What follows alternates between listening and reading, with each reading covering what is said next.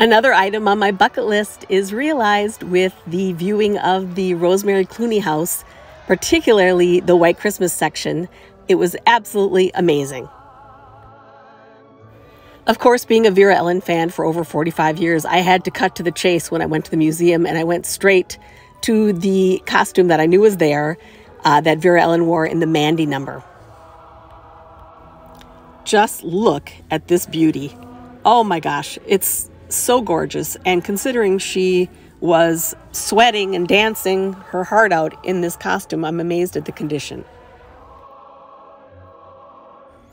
I'm not sure if the tulle bustle in the back um, is restored or remade um, or not. It was very white, but it was still beautiful.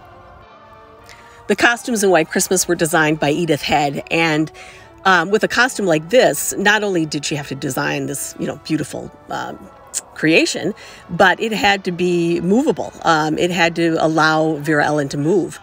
Uh, so Edith Head was an absolute genius.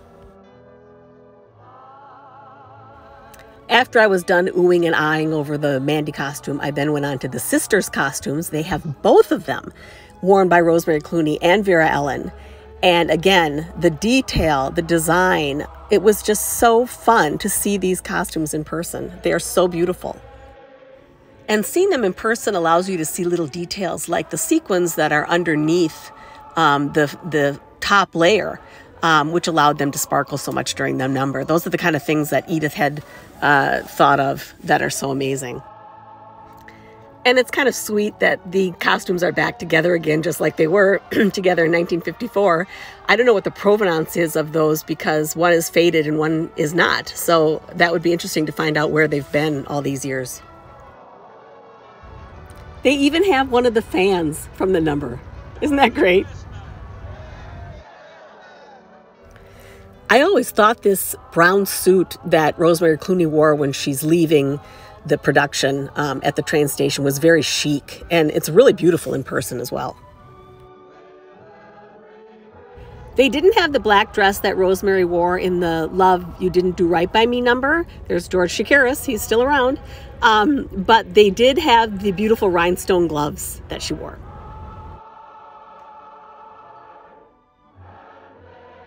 I shouldn't give short shrift to the male costumes that are there because I love Bing Crosby. Um, and they do have three uniforms uh, one of Bing Crosby's, one of Danny Kaye's, and one of Dean Jagger's. Um, but they aren't as fun as the pretty female costumes. okay, back to the pretty ones. Um, I love this one that Vera Ellen wore in the scene um, where she has to get engaged to Danny Kaye so that Bing and Rosemary can get back together. And there's the dress that Rosemary wore in the same scene. Um, and it's fun to see them back together again, too. The beauty of seeing these costumes in person is that you finally get to see the detail uh, that you can't see on the screen. Tucked in the back here is the robe that Rosemary Clooney wore in the scene where Vera Ellen is calling her a mother hen.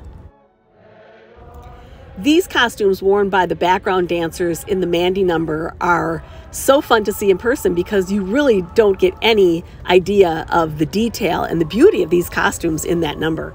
You're too busy watching Vera Ellen.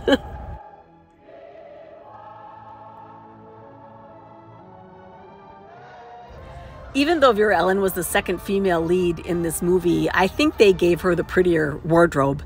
That's just my opinion. Um, but they have this beautiful hat, uh, this uh, leopard hat that she wore.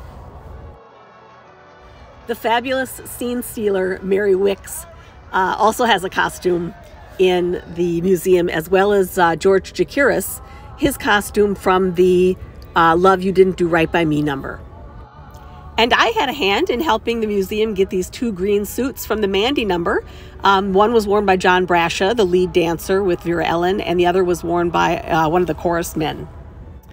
In my capacity at Bonham's auction house, I also helped them get this little Holiday Inn dress, which can be seen in the background of White Christmas, and this uh, wire from Vera Ellen to Bob Alton, who was the choreographer of White Christmas. I was already completely mesmerized with the Rosemary Clooney house, but uh, it was the icing on the cake when they let my dog Vivian sleep on the rug while I looked at the museum. So I'm going to have to make a second video that deals just with Rosemary Clooney because she deserves it. The, the museum her section is incredible, and the fact that she lived in the house is pretty cool. Um, but I'm also going to be doing uh, another White Christmas video uh, and Vera, about Vera Ellen's role in the film. So I hope you guys will stay tuned for both of those and my other videos. And thanks so much for supporting my channel.